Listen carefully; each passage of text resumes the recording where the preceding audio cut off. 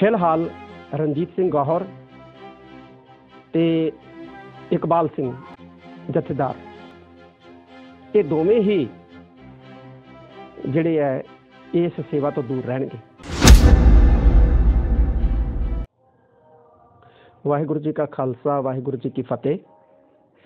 ਤਖਤ ਸ੍ਰੀ ਹਰਮੰਦਰ ਜੀ, ਪਟਨਾ ਸਾਹਿਬ ਦੀ ਪਾਵਨ ਧਰਤੀ ਦੇ ਉੱਤੇ, ਜੋ ਸਿੱਖਾਂ ਲਈ ਮਹਾਨ ਪਾਵਨ ਤਖਤ ਹੈ।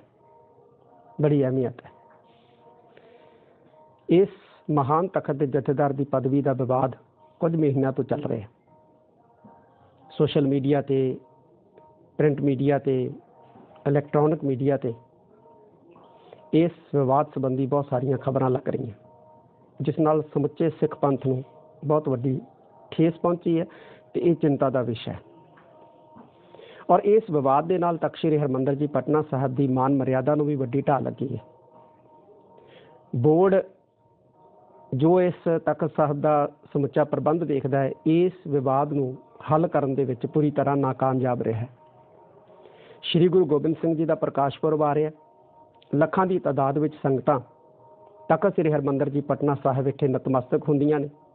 ਐਸੇ ਸਮੇਂ ਇਹ ਵਿਵਾਦ ਜਿਹੜਾ ਹੋਰ ਚਿੰਤਾ ਦਾ ਵਿਸ਼ਾ ਹੈ। ਇਸ ਲਈ ਪਾਇਆ ਗਿਆ ਕਿ ਬੋਰਡ ਦੇ ਜਿਹੜੇ ਮੈਂਬਰ ਹੈ, ਅਹੁਦਿਆਂ ਦੇ ਲਾਲਚ ਦੇ ਵਿੱਚ ਆਪ ਹੁਦਰੀਆਂ ਕਰਨ ਲੱਗੇ ਹੋਏ ਹੈ। ਇਸ ਲਈ ਫੈਸਲਾ ਕੀਤਾ ਹੈ ਕਿ ਇਹ ਜਿਹੜਾ ਬੋਰਡ ਹੈ ਇਸ ਨੂੰ ਸ੍ਰੀ ਅਕਾਲ ਤਖਤ ਸਾਹਿਬ ਦੇ ਉੱਤੇ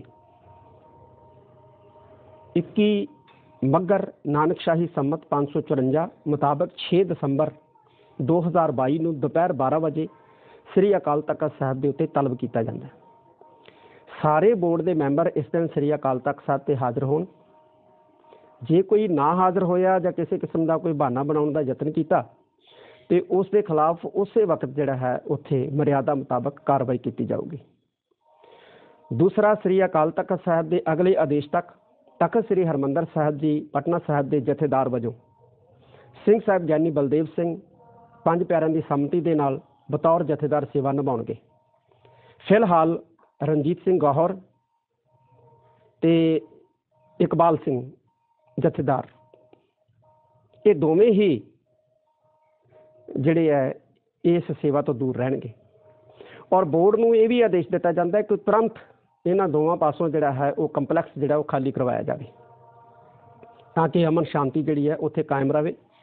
ਕਿਸੇ ਕਿਸਮ ਦਾ ਕੋਈ ਝਗੜਾ, ਕਲੇਸ਼ ਜਿਹੜਾ ਉਹ ਪੈਦਾ ਨਾ ਹੋਵੇ।